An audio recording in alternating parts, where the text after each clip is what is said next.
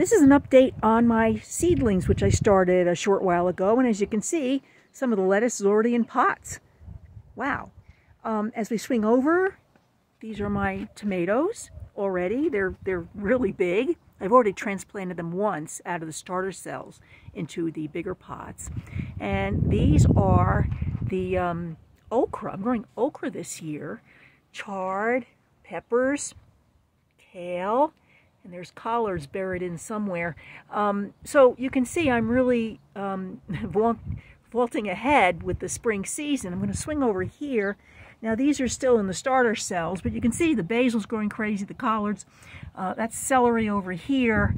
So um, I don't know. I may put them in a bigger in bigger pots, but I don't know. The way things are going, usually by the end of March, I start putting things in regular pots anyway basil's looking really good. I can start to actually maybe prune it soon. About six inches to begin to prune basil. So that's the story. Um, the seedlings are doing very well. They're getting hardened off.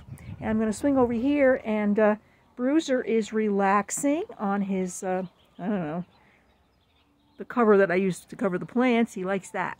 So um, he's having a nice day, right, Bruce? Okay, bye-bye.